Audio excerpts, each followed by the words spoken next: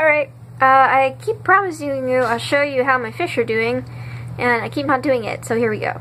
Uh, this is the original tank that I had four fish in, three bluegill fry, and this guy who's, uh, as far as I can tell, a red-breasted sunfish. That's my best ID so far, I think.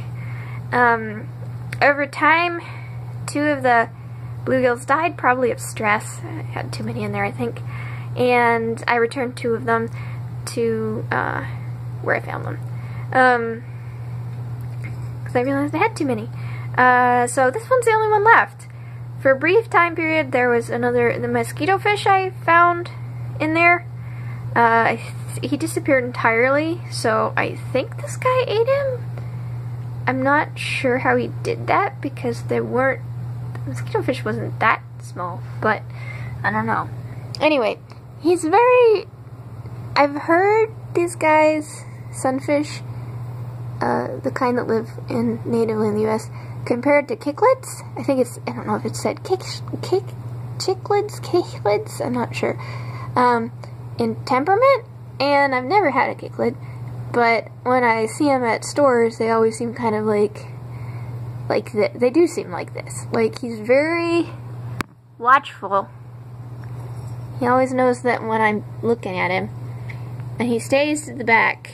And he's kind of grouchy seeming. I think he's, I think they seem like fairly aggressive fish.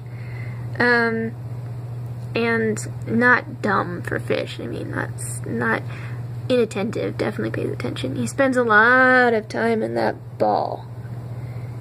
Which if he gets too big to go in, he'll be very sad. Um, and he spends a lot of time in that corner too. I don't know why. I think because the coverage is good, so he doesn't get seed. He doesn't like being seed. And he comes out and eats a lot. He likes to eat. That's something he enjoys. I like him.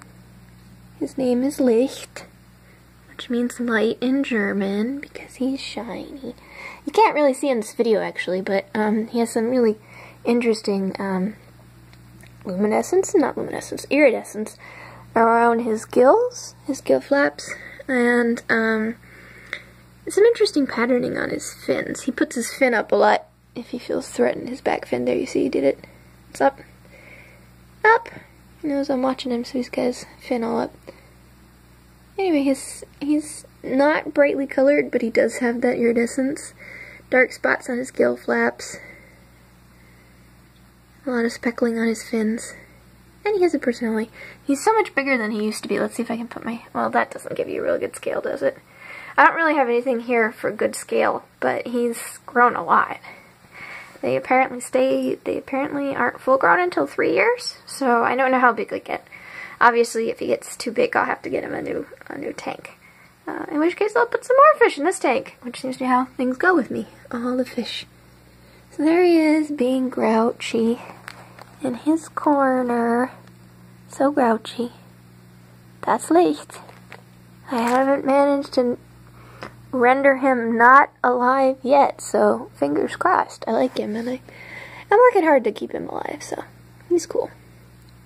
Where'd he go? There he is. Sneaky,